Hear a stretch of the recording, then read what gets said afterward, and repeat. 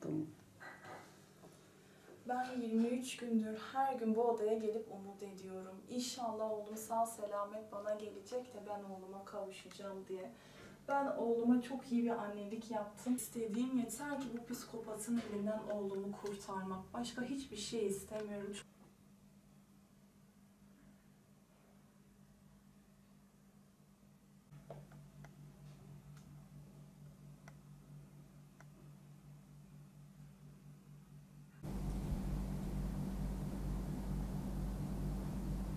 Ben şudur budur. Hakim de diyor, ah, hadi bir şans daha olsun.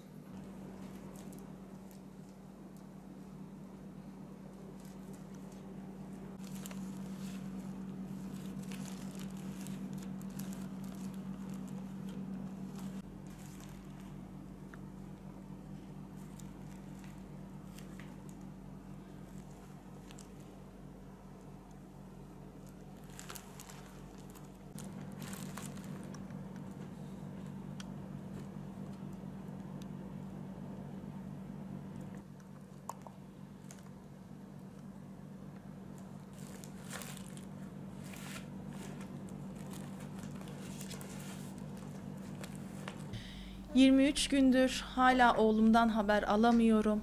Boşanma sürecindeyim. Mahkeme kararıyla çocuğu görmek için geldi babası. Götürdü ve bir daha da ne haber alabiliyoruz ne de bir şey. Şu an çocuğumun yaşayıp yaşamadığından bile endişeleniyorum. Bu 23 gün içinde bana haber gönderdiler. Tüm emniyetteki olan şikayetlerim, dilekçelerim geri çekilecek. Boşanma dilekçem de geri çekilip eve dönersem çocuğu getireceği için bana şart koştu ailesi. Ama bunu kabul etmiyorum. Adam da ailesi de zaten hepsi birbirinden ruh hastası. Ben çocuğumu sadece istiyorum. Savcı savcıya kadar gittim. Savcılıkla görüştüm. Bir yani bir şey yapılması lazım. Bunun bir ölüm olmadan önce bir el atılması lazım. Herkesin bana dönüp verdiği cevap babasıdır diye. Bu bir suç yani bunun aranması, çıkarılması lazım. Yiyeceğim benim oğlum 4 yaşında. Şu an nasıl, sağlık durumu nasıl, nerede, ne yapıyor, iyi mi, kötü mü hiçbir şekilde haberimiz yok. Bunlarla ilgili hiçbir bilgi alamıyoruz. Emniyete her gün gidip gelmekten bıktık. Elimiz boş dönüyor. Ama yeter ki kötü bir şey olmadan önce olsun. Ölüm olduktan sonra o adam idam edilmiş, o adam müebbet yemiş. Bu benim umurumda bile değil. Buradan tüm devlete sesleniyorum.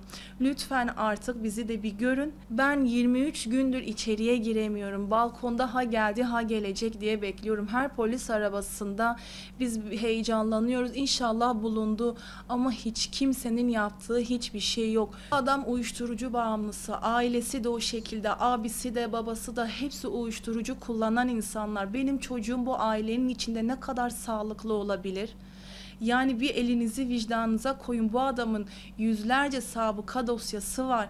Yaptığı bu üç kere uzaklaştırma kararı aldım. Yapmadığı ihlal kalmadı.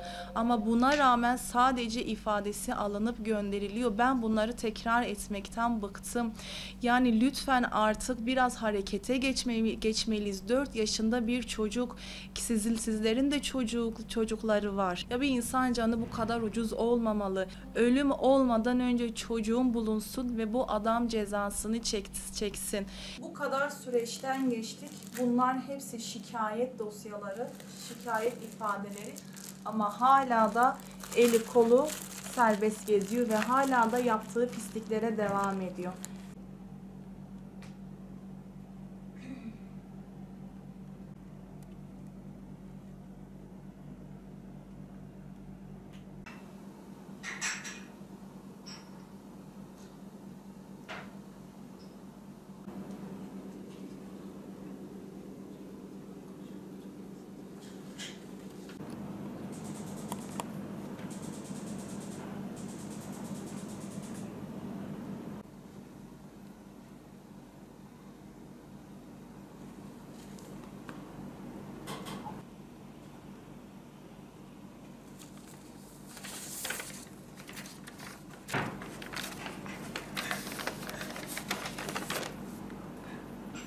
Şiddetle büyüdü, hep korkuyla büyüdü. Babasının yanına gitmek istemiyor. Kalkıp satabilir de bu çocuğu çünkü bu adam uyuşturucu bağımlısı, kimyasal kullanıyor. Ne malum benim çocuğuma da zarar vermeyecek, ne malum benim çocuğumu da satmayacak. Çünkü bu adam ruh hastası.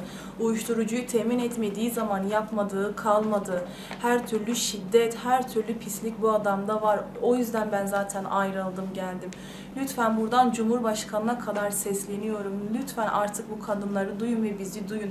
Bir can gitmeden daha ne olur artık müdahale edin. Sizin de evlatlarınız, kızlarınız var. Lütfen kendinizi bizim yerimize koyun.